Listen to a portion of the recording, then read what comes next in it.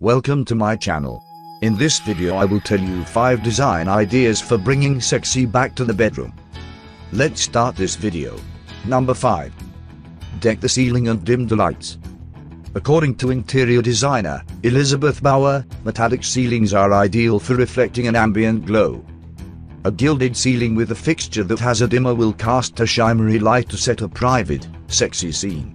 Cameron Diaz's Manhattan bedroom stuns us with its glamour and beauty. Number 4.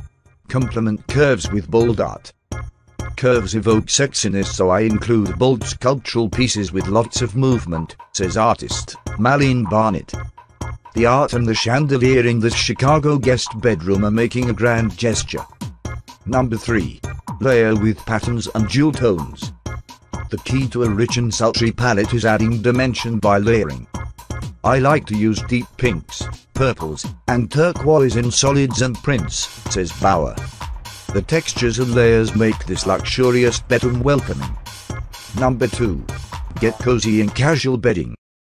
Textile designer, Serena Dugan says, sexy is relaxed.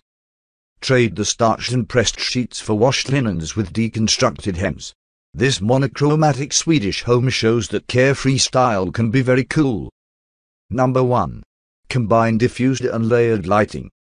According to Michael Amato, creative director of Urban Electric, focus on diffused and layered lighting, as well as employing both shimmer and sensuous textures in order to create a sexy bedroom environment.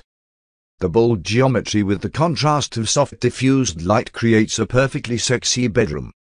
If you like my video please subscribe my channel.